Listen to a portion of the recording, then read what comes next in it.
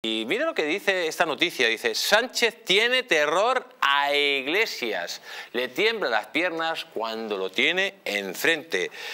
Pues dice un tal José Antonio Vera, eh, que ha dado en el clavo, que Sánchez tiene miedo a Podemos. Lo hemos visto todos con claridad y no es para menos. Lo que en realidad le ocurre a Sánchez es que no puede con Iglesias, le da canguelo, le tiembla las piernas cuando lo tiene enfrente como enemigo y por eso prefiere atarlo como el presunto colega que nunca fue ni lo será. Porque Pablo es tan ambicioso que sigue aspirando a todo, a echarle el pulso cuando quiera, a condicionar el gobierno, a romperlo si le place y a obligar al presidente a destituir a los ministros podemitas si se atreve, que no se atreverá. Bingo, Vera, Sánchez está en manos de Iglesias y tragará lo que le echen. Bueno amigos, tenemos la suerte de tener a uno de los mejores columnistas del periodismo español, que es don José Antonio Vera. Don José Antonio Vera, explícanos este gran artículo.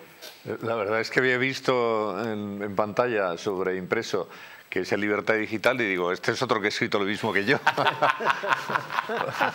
Eso lo he hecho, eso lo he hecho para despistarlo a usted. lo he hecho para despistarlo, para que se pillara eso ah, No, se supone que lo habrá recogido la revista de prensa de Libertad Digital, que es lo hace Pilar Díaz, es una, es una gran periodista. No, bueno, pues yo creo que digo algo que, que entiendo muy bien mucha gente, porque me parece que es bastante sentido común.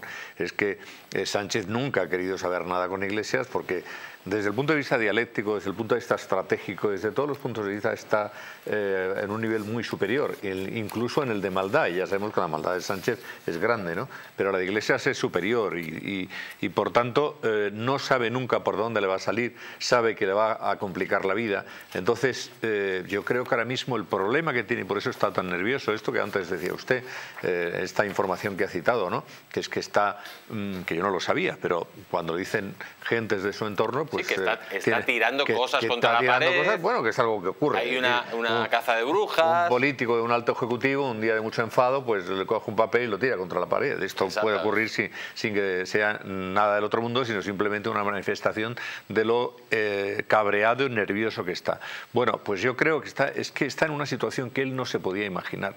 Y la situación es que eh, se le está hundiendo, le, están cayendo los votos en las encuestas, eh, tendría que tomar una decisión muy contundente, que es la que le está pidiendo su partido, que es echar a las ministras podemitas, pero sabe que como haga eso, eh, Pablo Iglesias le puede hacer cualquier cosa, porque le puede tomar la calle, Dice, no la va a tomar. Bueno, ya veremos. Hay muchos temas para tomar la calle y Pablo Iglesias tiene esa capacidad. Y no nos engañemos, el que está eh, urdiendo toda la estrategia del podemismo y de lo que está aconteciendo ahora mismo dentro del gobierno es Pablo Iglesias, que es el que sigue mandando dentro de Podemos con diferencia. Y es el que, por cierto, eh, se ha cansado de Yolanda Díaz, porque ha considerado que no le vale como candidata, pese a que él en un momento determinado la ungió y ahora considera que no le vale porque probablemente se ha acercado demasiado a Sánchez y por tanto aquí la guerra está abierta y efectivamente Sánchez no quiere ver para nada enfrente a Pablo Iglesias y mucho me temo